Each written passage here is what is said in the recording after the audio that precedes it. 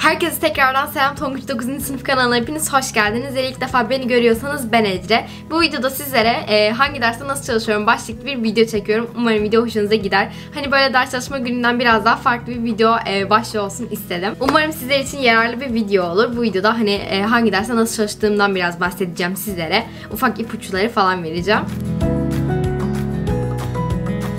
İlk olarak matematik dersiyle başlamak istiyorum. Çünkü çoğu insanın kafasında hani matematiğe nasıl çalışmalıyım, hani nasıl daha yüksek ederim diye e, fikirler var. Tabii ki her insanın çalışma e, stili farklıdır. Herkes farklı yöntemlerle anlayabilir. İşte kimisi konu anlatım diyerek e, oturtturur, kimisi soru çözerek oturtturur.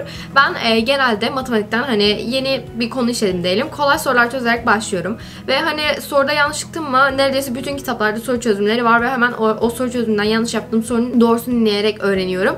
Yani bu şekilde ben matematik çalışmamı genelde e, ilerletiyorum. Tabi arası e, konu anlatımları da dinliyorum ama genel olarak kendim böyle hani soru çözerek gitmeyi daha çok beğeniyorum. Direkt zaten anlamadığım sorun çözümüne falan ulaşınca gayet iyi oluyor. Fakat bunda şey de çok önemli. Direkt mesela konu içerik bitirdikten sonra direkte soru çözmüyorum. İlk önce bir okuldakileri tekrar ediyorum falan. Bir de hani e, direkte zor kaynaktan da başlamıyorum. İlk önce kolay, orta, zor seviye diye ilerlemek de çok mantıklı. Ara sıra da konu anlatımlarından yararlanıyorum. Konu anlatımları da benim çok işime yarıyor. Mesela bir e, derse gitmeden önce de e, önceki günden böyle bir e, o konuyla ilgili konu anlatımı dinledikten sonra ertesi günde o derste hani o konuyu işleyecek hocamız hani sonuçta biliyoruz hani hangi konuya geçeceğimizi falan. Bir kulak aşinanız oluyor. En azından böyle konuya biraz e, biraz da olsa adapte olmuş oluyorsunuz. O da çok güzel oluyor. Hani matematiğe bu şekilde hani ön hazırlık da yapabilirsiniz. Ben genelde hani soru çözerek soru çözümlerinden vesaire anlıyorum Şimdi ise e, biraz da edebiyat dersinden konuşayım. Edebiyat dersinde biz genelde hani yazı yazıyoruz ve e, kitap üzerinden ilerliyoruz. Yazı yazmamız benim için çok verimli oluyor. Çünkü yazıları okuyarak gayet anlayabiliyorum edebiyatı. E, bir de soru çözüyorum. Hani zaten okulda biz yazı yazdığımız için tekrardan bir konu anlatımı dinleyip hani tekrardan bir yazı yazmıyorum edebiyat için. Sadece edebiyatlarda bazı gramer konuları oluyor ve o gramer konularından konu anlatımları dinliyorum ara sıra.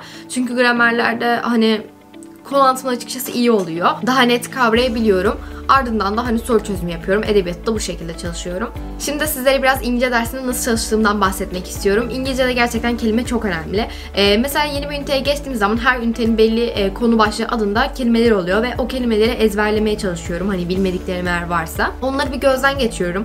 Ya da hani mesela bizim zaten ertesi gün işleyeceğimiz belli. Gidip de 3. üniteden 5. üniteye geçmiyoruz. Hani o ünitenin devamından bir konu işleyeceğimiz için sayfalara böyle ufaktan bir göz atıyorum. Hani şöyle bilmediğim kelimeler falan varsa onları hemen araştırıp yazıyorum yazıyorum. Onları o şekilde hallediyorum. E, İngilizce'de gramer konuları zaten hani çok yoğun değil yani biliyorum konuları. O yüzden gramer olarak herhangi bir ek çalışma yapmıyorum. Fakat dediğim gibi İngilizce kelime önemli olduğu için derse gitmeden önce mesela ufak tefek o kelimelere bakabiliyorum.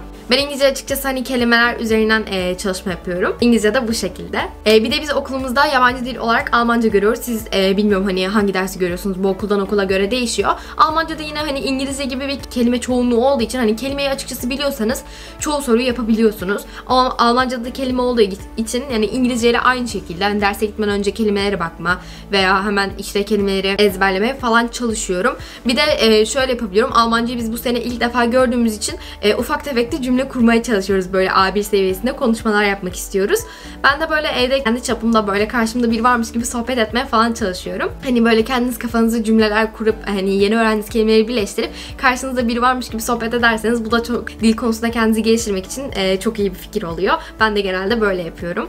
Şimdi biraz fizik dersine bakalım. Fizik dersinde yine ben matematik gibi soru çözümleri üzerinden gayet iyi anlayabiliyorum. Hani sonuçta sayısal bir ders olduğu için hani yazma genelde olmuyor. E, direkt soru üzerinden anlamadığım soruları işte e, uygulamadan veya öğretmene sorarak o şekilde dersi halledebiliyorum. E, bir de zaten fizikte ben e, biraz daha fazla konu anlatımı kullanıyorum. Çünkü daha çok böyle kafama oturuyor. O şekilde konu anlatım artı soru şeklinde ilerliyorum fizikte de.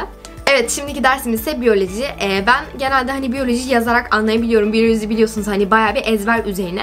Bize hocamız böyle her hafta ne işlediysek onunla ilgili böyle bayağı uzun bir özetler atıyor ve biz de onu defterimize geçiriyoruz.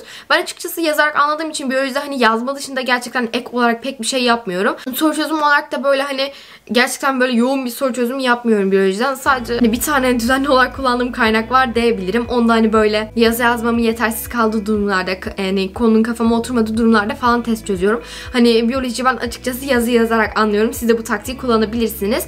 Ee, yazı konusunda bu arada hani hocanız özet atmıyor falan olabilir. Sizler hani e, konu e, olan bir sürü soru bankaları var. Konu anlatım soru bankalarından kendinize özet çıkarabilirsiniz. Ya da e, herhangi bir konu anlatım dinleyerek e, özet çıkarabilirsiniz. Yani ben hani yazar anladığım için sizlere özet çıkarmanızı tavsiye ediyorum. Biyoloji de o şekilde. Şimdi biraz sözel derslere bakacak olursam geriye bir tek tarih kalıyor sanırım. E, bir de coğrafya kalıyor. Onlar da hani bir şekilde halloluyor. Sözel derslerden sanırım bir tek tarihle coğrafya kaldı. Tarih zaten hani e, okuyorsunuz, yazıyorsunuz. O şekilde onu hallediyorum yani. E, Tonguç'un mesela Dinamo Soru Bankası var. O kitaptan da bayağı hani tarih konusunda çok verim almıştım ondan. O kitabı kullanıyorum. E, bir de tarihten okuma yazı zaten videolarında görüyorsunuz nasıl çalıştığımı. O şekilde ilerliyorum. Coğrafyadan da yine aynı şekilde. Onlar sözel ders olduğu için yine hani okuyup yazıp anlayabiliyorum. Ve sayısallardan bir tek kimya kaldı sanırım. E, kimya dersi biraz da ezber, biraz mantık. Hani böyle biraz karışık bir ders gibi geliyor geliyor bana. Bazı şeyleri, bazı formülleri e, ezberlememiz gerekiyor. Onlar onlar için ezber yapıyorum. E, bir de bazı konularda da mantık gerekiyor. Hani kimyada açıkçası bayağı bir şeyi uygulamanız gerekiyor. Hem mantık hem ezber konusunda. O yüzden hani kimyaya hani şu şekilde çalışıyorum tam olarak diyemem. Hani o an ne yapmam gerekiyorsa, konumuz neyse ona bağlı olarak hani e, ezber yapıyorum ya da mantığımı çalıştırıyorum. O derste o şekilde hallediyorum. Bu arada sizlere hani e, dil konusunda e, kelime ezberlemeyi tavsiye etmiştim. Kelime ezberini de şu şekilde yapabilirsiniz arkadaşlar. Hani e, bir ufak not kağıtlarına, postitlere vesaire kelimeyi ve anlamını yazıp sizin sürekli gidip geldiğiniz bir yere onu e, yapıştırıp yapıştırabilirsiniz. Şöyle sizlere göstermek istedim. Almanca mesela birinci ünitesiyle ilgili bu şekilde postitlerle not asmıştım. Ve hani böyle dersten e, sıkılınca havaya bakmaya başlıyorum. Ondan sonra bir bakıyorum postitler var. Postitler ilgimi çekiyor. Onları okumaya başlıyorum. Hani bu şekilde e, sizin sürekli gözünüzün e, görebileceği yerde olacak şekilde postitler yapıştırabilirsiniz kelime ezberi için.